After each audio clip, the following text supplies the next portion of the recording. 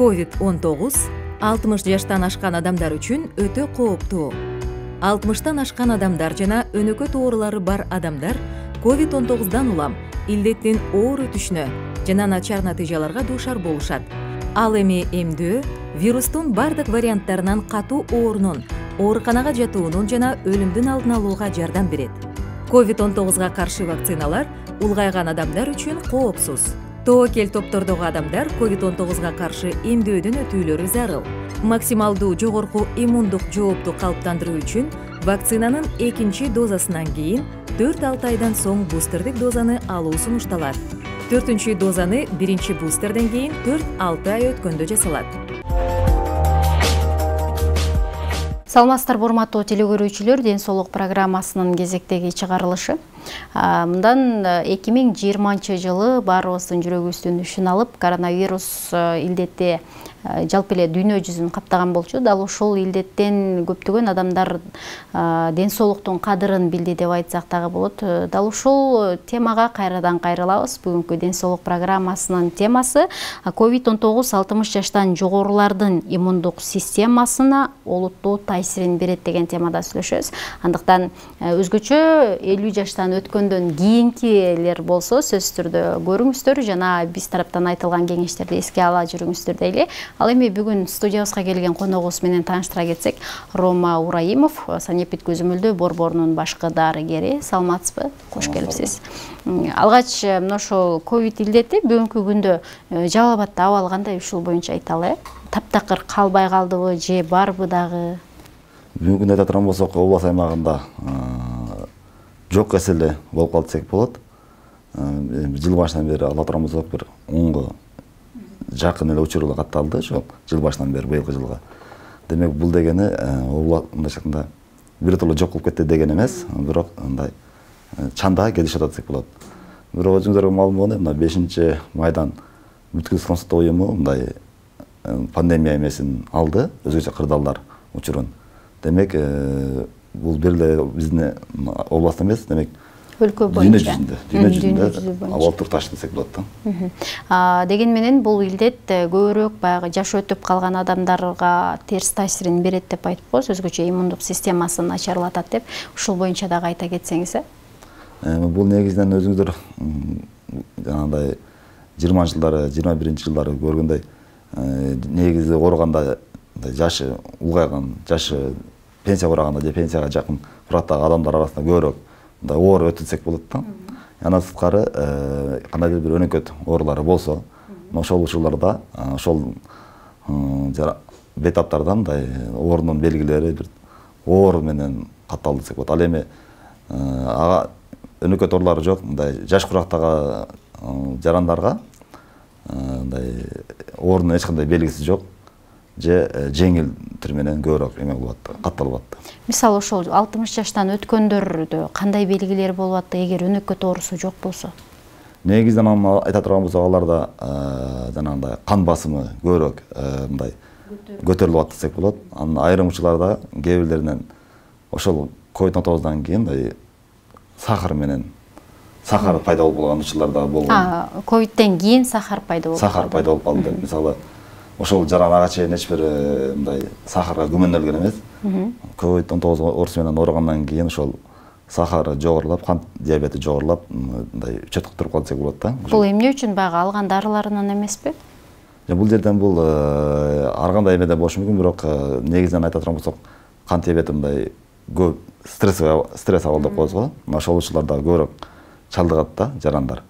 Ошол ковид он тогуз менен ооруганда жаран көбүрөөк мындай стрессовый абалда болуп калган болушу мүмкүн ошол натыйжасында кант диабети менен жабыркап кант көтөрүлүп кант диабети кабыл алды десек болот эми аныкы жогору болсо да бирок жанагы нормадан жогору ашып калган учурлар көбүрөөк болду десек болот да. Иммундук системасы начарлайт дейт а? Иммундук система начарлаганда кандай болуп калат ошондо эми иммундук система начарлаганы бул деген биздин жанагы коргоо система деп десек болот мисалы сырткы мындай жугуштуу оорулардан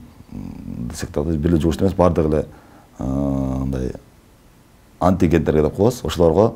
каршы берүүчү ошолордон коргоочу системанын төмөндөшү болуп калат да. Демек ал бетап андан кийин башка ооруларга деле мындай бат бат ооруй турган болуп калышы мүмкүн андан кийин климат алмашканда да кандайдыр бир оорулардын себептери болуп мындай буга чейин ал адамда кездешпеген эмелер пайда болушу мүмкүн да. Кездешпеген оорулар оорулар себеби ал буга чейин өз эмесин билген эмес бирок ошол ковид он тогуздан кийин кандайдыр бир мындай климат алмашканда же кандайдыр аллергиялык эмелер болуп калышы дагы мүмкүн ар кандай мындай ооруларды өнөкөттөрдү козгошу мүмкүн ковидке кабылгандан кийин мисалы дарыланып чыккандан кийинки абал боюнча айтсак мындай тамактануу жагы алардын абалы мисалы жаштардан айырмаланып кандай болуп жатты жаш жаш өйдүү адамдар жаш улуу адамдардын негизинен аларда мындай тамак ашын диеталык эмеде десек болот эгерде кан басымы жогорулган болсо демек жанагы майлууларды анан азыраак жеп анан жашыл жемиштерди көбүрөөк анан суюк тамактарды көбүрөөк эме кылганга биз сунуштап бергенбиз себеби анын организминде жанагындай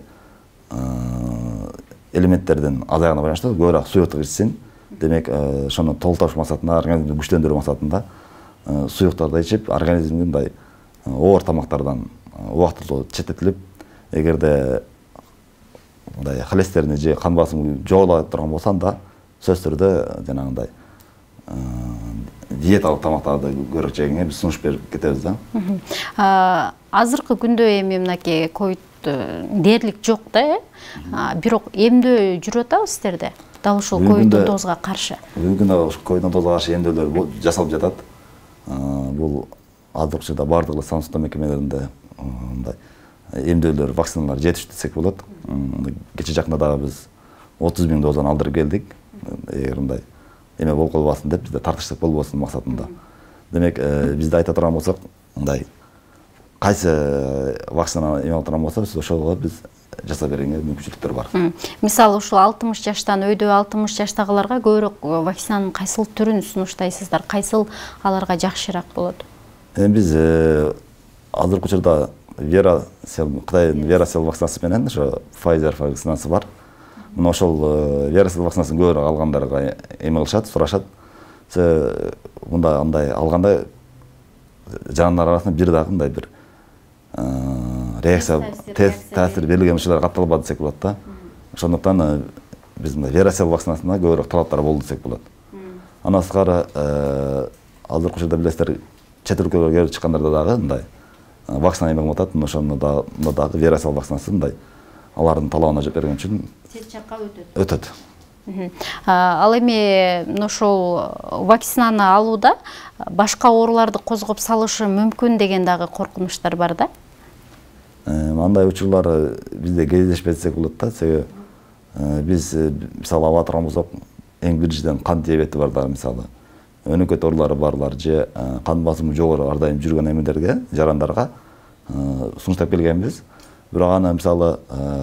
кант диабети жогору болсо өзүнүн жанагы эндокринолог дарысы менен кеңешип анан ошонун сунушу менен жасалып атат ар бир негизинен ошол кант диабети дагы жаш өткөн адамдарда көп кездешет да анан бул кант диабети менен ооругандарга эгерде вирус жуга турган болсо бул дагы оор өтөт деп айтып коюшат туура эле себеби мисалы кант диабети менен жабыркагандар ошол ковид он тогуз учурунда пандемия учурунда көбүрөөк мындай менен эме алгандар көбүрөөк болот десек болот да себеби аларда жанагы пневмонияны берип и андан сырткары оор түрү менен же өтүшүп батыра тез өтүшүп кеткен учурлары болуп и ошол эле учурда кант диабетинин жанагындай курамында кан эме кылганда ошонусу да көтөрүлүп кетаткан учурлар болот десек болот сахарычы ошондуктан кант диабети бар жарандарды биз биринчи очередте мындай эмдөөгө алып аттык себеби буларда группа риска буларда ооруп калуусу дагы и оор өтүшү дагы мындай жогору деп. Фактор риска деп айтып коебуз буларда тобокелчилик группасы өтө жогору болот деп. Давление менен эми негизинен давление менен жаш өткөндөр давление менен дагы жүрөт экен мына ошол давлениясы барларга кандай таасир бериши мүмкүн эми аны ал жерден давлениясы барларга мисалы кан басымы жогоруларды биз эгерде ошол учурда кан басымы жогору болсо ошо үй бүлө дарыгер тобунун дарыгериби же кардиологбу үч күндүк назначение кылып берет үч күндөн кийин келет ошо берилген дарыларды ичишет үч күндөн кийин келип кайра деле текшерилет эгерде кан басымы нормага чыгып калса анда ушундай жасалат бирок эч качан мындай кан басымы жогору учурда ал эмдөө албайт сөзсүз ошол үч күндүк курсун алып же андан кийин кардиологдун кеңеши менен ошо белгилеген жасалат десек болот эмдөө алгандан кийин баягы кандай белгилер болушу мүмкүн баягы реакция жүрүп кетпөө үчүн же болбосо негизи айтып коет го бир аз дене табы көтөрүлөт тиги бул дегендей жаш өткөндөрдө дагы ушул нерселер белгиленеби эми негизинен ал жерде мисалы айта турган болсок жалпы мындай дене табы көтөрүлүшү мүмкүн отуз сегизге чейин андан сырткары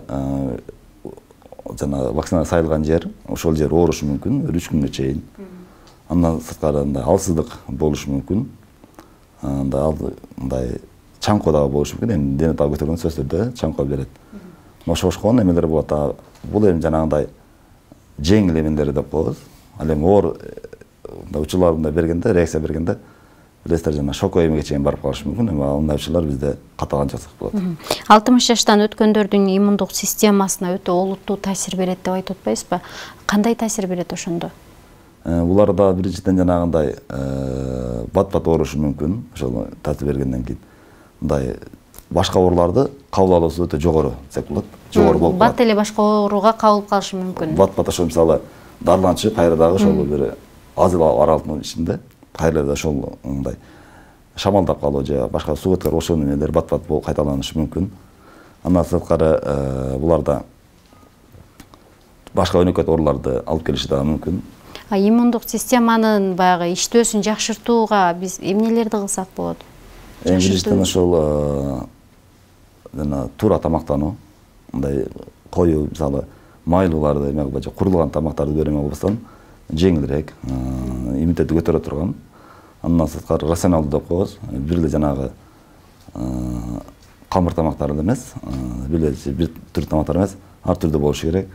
Белок углевод жанагы майларды камтыган ушу бир тең алып бара турган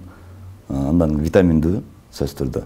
анан жашыл жемиштерди дагы бүгүнкү күндө айта турган болсок ушу бышып калды ошолордон алдыркы жай мезгилинде көбүрөөк азыктаныш керек. Себеби жанагы иммундук системаны жакшыртуу максатында.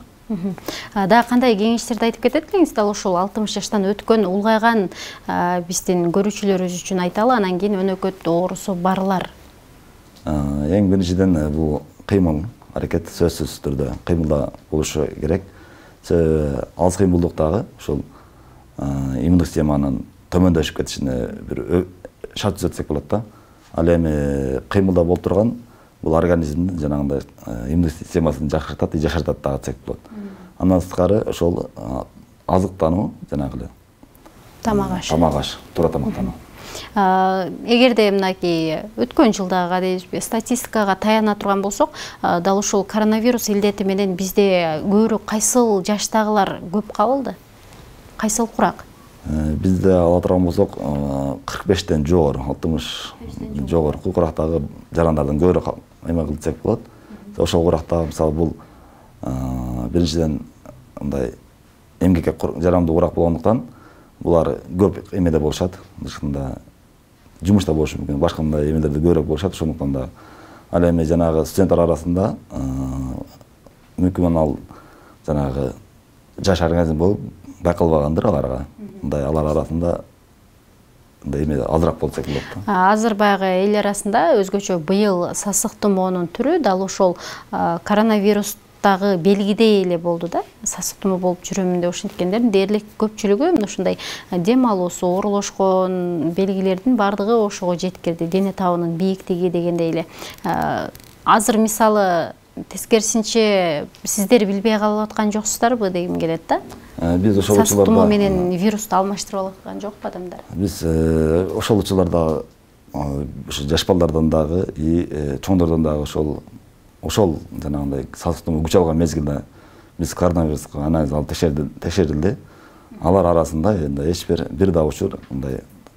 коронавирус илдети аныкталган жок да. Демек бул ошол эле жанагы биздин сасык тумоонун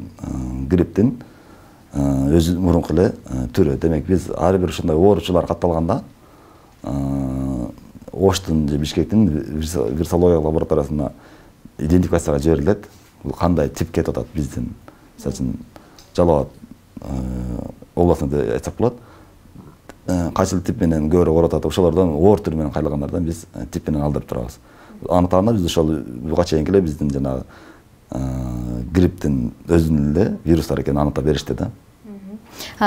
биздин көрүүчүлөрүбүзгө дагы бир ирет эскерте кетпейлиби э дал ушул коронавирустун белгилери кандай болот анткени бирөө билип бирөө билбей калса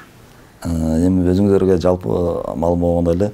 билесиздер эң негизинен дене табынын көтөрүлүшү андан кийин алсыздык эгерде бул жеңил эле түрлөрү эме кылынат андан кийин айта турган болсок мындай энтигүү деп коебуз одышка эгерде өсүп кеткен учурларда бул одышка бериши мүмкүн бирок ага чейин жөтөлдөр сөзсүз түрдө жөтөлүү жөтөлгөндө дагы мындай какырык чыкпашы мүмкүн курук жөтөл деп коебуз бирок негизи мисалы ошол сахары бар адамдар дагы дайыма тамак ичишип жөтөлүп турат алар дагы ал бир мындай айырмасы айырмасы болот десек болот мисалы коронавирус менен башка эменин жөтөлдөрү аны ушундай кан диабети менен жабыркаган адамдар деле өздөрү билишет да. Мисалы ал аллергический деле болушу мүмкүн кээ бир эмелерде жөтөлдөрү же чүчкүрөбүш да болушу мүмкүн. Ал эми коронавирус менен жабыркаганда анын жөтөлү мындай өпкөдө мындай ичкериден чыгат. десек болот да. Ал эми сахар сахарный диабеттердики ал анчалык жөтөл болбойт мындай жеңил болушу мүмкүн да. Тамактануу немесинен эле болушу мүмкүн. Тамак дем алуу жолдору ал эми өпкөсүнөн болгондуктан эч бир мындай татаал болот десек болот да көбүнчөсүндө эмдөөнү баягы жүрүп жатканда мисалы бир биринчи этап экинчи этап деп дагы бөлүндү андан кийин бир эле жолу алып койсо дагы болот деп дагы айтылып атат азыр ошондо эгер эмдөө алам дей турган болсо дал ушул алтымыш жаштан өткөн адамдар ала турган болсо алар бир эле жолу алабы же болбосо баягы этап этабы менен алышабы? Эмдөө негизинен бул эки эмеге этапка өтөт биринчи экинчи доза болуп ал эми кийин эгерде биринчи экинчи дозасын буга чейин алган болсо анда бир эле доза деп эме кылынат жасалат дейт. Себеби биз жана бустерный доза деп эме кылып атканбыз ошондон эгерде жыйырманчы жылдары жыйырма биринчи жылдары биринчи экинчи дозаларын алган учур болсо демек азыр алып турган учурда бир эле дозаны алышат. Бир эле. Дозаны. Эгерде ал буга чейин такыр эмдөө албаган болсо коронавируска демек анда биринчи жана экинчи этабын алышат сизге чоң рахмат. Убактыңызды бөлүп бизге келип бергениңиз үчүн ушул убакыттан пайдаланып биздин көрүүчүлөрүбүзгө дал ушул өзгөчө алтымыш жаштан өткөн биздин көрүүчүлөрүбүз үчүн өзүңүздүн айта турган кеңештериңиз болсо айтып алсаңыз болот негизинен ушу баарыңыздарга эле айтарыбыз ушу ден соолукта болуш үчүн сөзсүз түрдө туура тамактануу сергек жашоо андан кийин эгерде кандайдыр бир оорунун белгилери байкалса же билинсе сөзсүз түрдө үй бүлө дарыгерлер топторуна же саламат сактоо мекемелерине барып тийиштүү адис менен кеп кеңеш алып турганы зарыл деп эсептейм себеби ал андан ары ал ооруну өтүшүп кетпесин андан ары оор түрүн алып келбеш үчүн ошо башталганда кеп кеңеш алганы сөзсүз түрдө бейтап үчүн дагы и дарыгер үчүн дагы ыңгайлуу десек болот да. Ошондуктан баарыңыздарды ошол медициналык мекемелер менен биргеликте үй бүлө дарыгер тобуңуз врачыңыз менен иш алып барыңыздар ошолор менен кеп кеңешип туруңуздар деп айтып кетмекчимин чоң рахмат урматтуу теле көрүүчүлөр ушуну менен бизге бөлүнгөн убакыт соңуна келди дагы бир ирет эстете кетели сөзсүз түрдө өзүңүздүн ден соолугуңузга жакындарыңыздын ден соолугуна кам көргөндү унутпаңыз ал үчүн ар бир оорунун алдын алуу бул адамдын кыймылы жана тамактанган азыктары болот экен андыктан туура тамактанууга аракет кылыңыз деп айталы кайрадан дүйшөмбү күнү көрүшкөнчө саламатта калыңыз. Биздин бизди ар дайым күзөтүп барыңыз